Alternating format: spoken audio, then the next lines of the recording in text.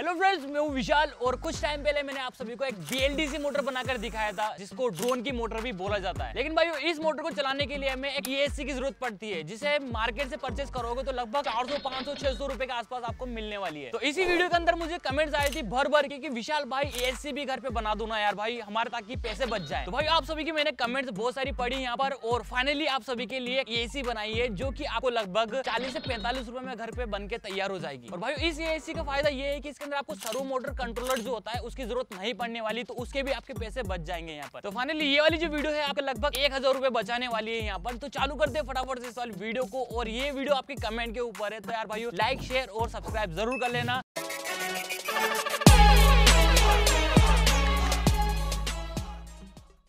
तो चलिए भाई एसी बनाना चालू करते हैं। हमें सबसे पहले यहाँ पर ज़ीरो पीसी भी लेना होगा, जो कि हमारा पूरा सर्किट को इसी के ऊपर हम बनाने वाले हैं।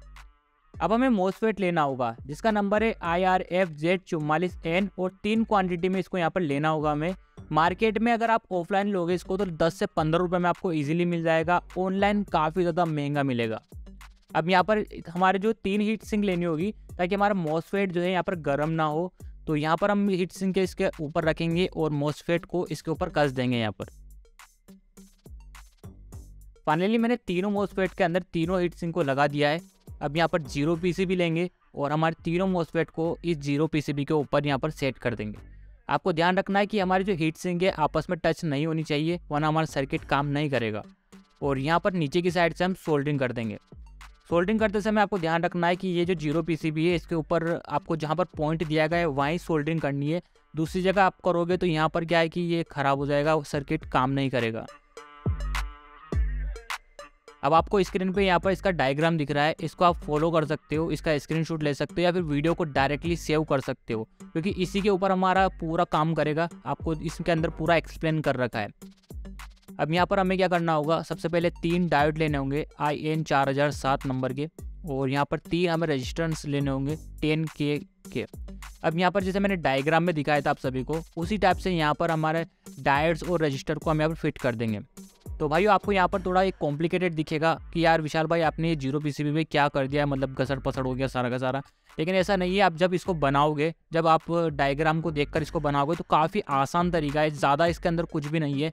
इसके अंदर तीन डायोड तीन रजिस्टर और बाद में हम तीन डायोड और लगाएँगे। मतलब कुल मिला के छः डायोड और इसके अंदर चार रजिस्टर लगाने हैं। और यहाँ पर एक हमें इसके लिए स्पीड कंट्रोलर लगाना है, ठीक है? तो ज़्यादा इसका कुछ हैवी डायग्राम नहीं है ईजिली आप इसको घर पे बना सकते हो। और भाई, ये वीडियो आपके कमेंट के ऊपर है, मुझे बहुत सारी कमेंट्स आई, इसके ऊपर मैं अब इस वीडियो को बना रहा हूँ तो लाइक और शेयर ज़रूर कर देना यार। फाइनली गाइज़ अब यहाँ पर हमें क्या करना होगा, तीन डायट और लेने होंगे आई एन चार हज़ार सात के, और इसको जैसे मैंने डायग्राम में दिखाया है, उसी टाइप से लगाना है। तो फाइनली नीचे की साइड में मैं यहाँ पर सोल्डिंग कर दूँगा, वापस से इनकी। तो अगर सब्सक्राइब नहीं किया तो सब्सक्राइब ज़रूर कर लेना, क्योंकि बहुत सारे ऐसे बंदे होते हैं जो वीडियो को तो देखते हैं लाइक भी करते हैं, लेकिन सब्सक्राइब नहीं करते हैं। तो सब्सक्राइब ज़रूर कर लेना है भाई क्योंकि इससे आपका कुछ जाएगा नहीं, लेकिन हमारी क्या है कि फैमिली बड़ी होगी तो हमें भी वीडियो बनाने में मज़ा आता है। फाइनली अब यहाँ पर क्या कर रहा हूँ, मैं कॉपर वायर ले रहा हूँ और जैसे मैंने डायग्राम के अनुसार दिखाया है, उसी टाइप से हम इन सभी को मिला लेंगे आपस में।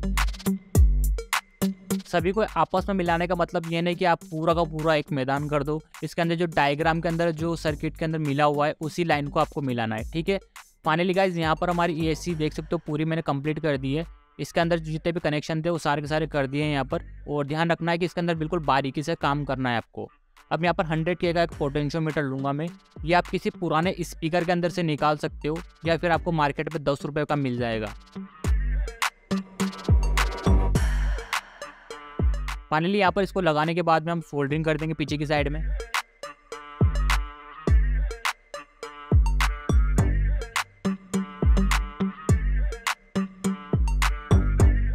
अब यहाँ पर मैं वन के का एक रजिस्टर लूँगा और इसको यहाँ पर डायग्राम के अनुसार हमारे पोटेंशियोमीटर के अंदर लगा देंगे।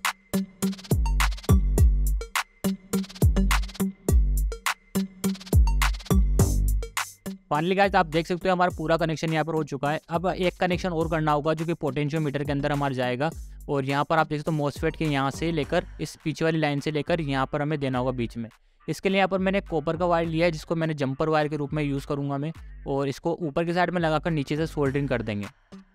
और भाई ये जो है पूरा का पूरा सर्किट आपको ज़ीरो पीसीबी के अंदर समझ में नहीं आएगा।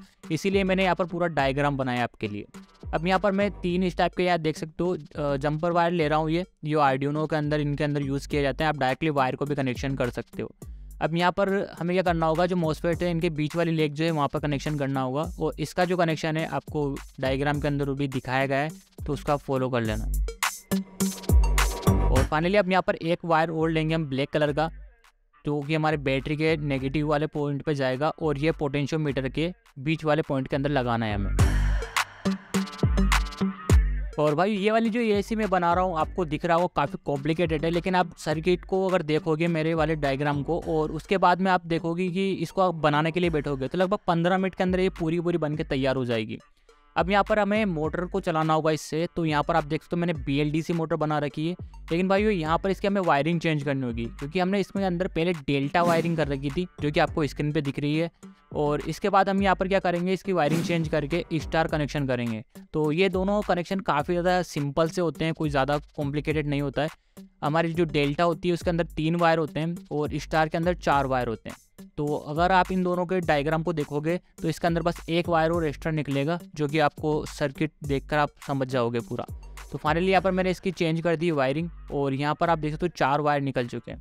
तो तीन वायर तो हमारी जो एसी है, उसके अंदर हम लगा देंगे इस टाइप से।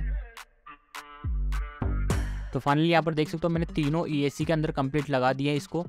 अब यहाँ पर आप देख सकते हो मैं बारह वोल्ट की सप्लाई ले रहा हूँ, जिसके अंदर माइनस टर्मिनल जो है, वो हमारी ए के अंदर जाएगा, जो कि हमने ब्लैक कलर का वायर लगाया था, और प्लस वाला जो टर्मिनल है, वो हमारी मोटर के अंदर जाएगा, ठीक है, जो एक्स्ट्रा वायर निकाला उसके अंदर। और फाइनली अब यहाँ पर इसको चालू करेंगे तो यहाँ पर आप देख सकते हो पहले मैं इसको हाथ से झटका दे रहा हूँ, क्योंकि ये मोटर में थोड़ी प्रॉब्लम आ चुकी है, गिर गई थी इसलिए। तो यहाँ पर आप देख सकते हो मोटर जो हमारी काफ़ी अच्छे से काम कर रही है, और इसके अंदर जो आपको खास बात ये कि इस ई के साथ में आपको जो है सर्वो मोटर टेस्टर जो है, उसकी ज़रूरत नहीं पड़ने वाली। डायरेक्टली हमारे इसके अंदर पोटेंशियोमीटर लगा हुआ है, जिससे आप इसकी स्पीड को कम ज़्यादा कर सकते हो यहाँ पर।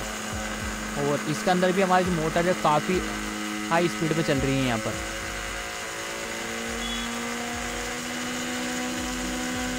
और भाई आप देख सकते हो कि यार हमने कितनी आसानी से इस एसी को बना लिया है, और हमारे पैसे भी यहाँ पर बच चुके हैं।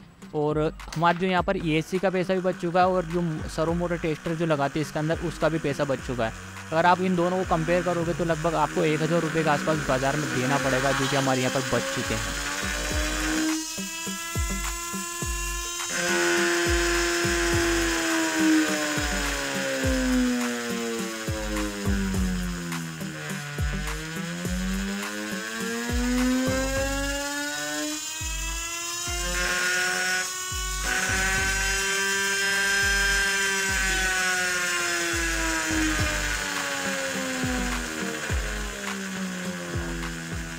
गाइस सो फाइनली आप सभी ने देखा कि हमारी एसी काफ़ी अच्छे से काम कर रही है यहाँ पर। बस हमें यहाँ पर जो मोटर का कनेक्शन है, उसको चेंज करना होगा। पहले हमने यहाँ पर डेल्टा कनेक्शन कर रखा था, उसको हमने यहाँ पर स्टार कनेक्शन के अंदर कन्वर्ट करना है। और फाइनली यहाँ पर जो डेल्टा से जो हमारी स्टार कनेक्शन की वायरिंग है, ये भी काफ़ी ज़्यादा सिंपल है। इसके अंदर कोई ज़्यादा रॉकेट साइंस नहीं है। इसका जो मैंने आपको यहाँ पर डायग्राम भी दिखा दिया था किस टाइप से इसका कनेक्शन होने वाला है। बस यहाँ पर तीन वायर की जगह पर चार वायर निकालने और हमारी जो एसी काम करना स्टार्ट कर देगी यहाँ पर। तो आपको ये वाली वीडियो कैसी लगी, मुझे कमेंट करके ज़रूर बताना। और अच्छी लगी तो लाइक कर देना शेयर कर देना और चैनल पर तो सब्सक्राइब ज़रूर कर देना। और अगर आपको और किसी टाइप की वीडियो चाहिए तो कमेंट करके ज़रूर बताना कि विशाल भाई हमें ये वाला प्रोजेक्ट बनाकर दिखाओ। मैं आपकी कमेंट सारी की सारी पढ़ता हूँ। अगर मुझे अच्छा लगा तो आपके लिए मैं वीडियो ज़रूर बनाऊँगा। ठीक है, मिलता वीडियो में। जय हिंद, जय भारत। बाय बड़ी